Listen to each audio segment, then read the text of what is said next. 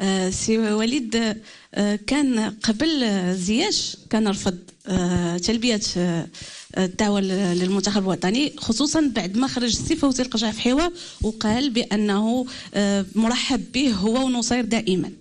فاليوم اذا كان زياش غادي يكون حاضر في لائحة المنتخب الوطني ما كظنش أن حمد الله أيضا عنده فرصة يكون شنو هو الفرق بين حمد الله وزياش؟ خصوصا أنهم جوج إلى جينا نشوفوا آه، في الواقع حاليا جوج يفتقدون للتنافسيه لأنهم ما كيلعبوش ماتشات ميرسي.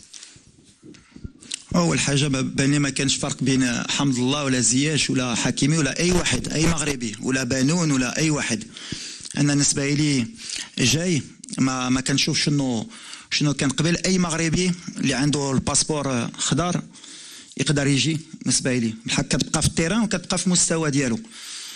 حتى شي واحد عنده plus d'avantages que اخر بغينا les meilleurs joueurs أنا كمدرب باغي les meilleurs joueurs علاش مع les meilleurs joueurs تقدر تربح donc اما حكيم اما حمد الله اما اما بانون اما حسوني اما اللي بغيتي في المغرب اما واحد في كندا ولا في استراليا اللي عنده passeport خضر ولا في مستوى ولا يقدر يعطينا الاضافه ولا فاهم جوستومون ملي المغرب كبير عليه وباغي يجي يعاون مرحبا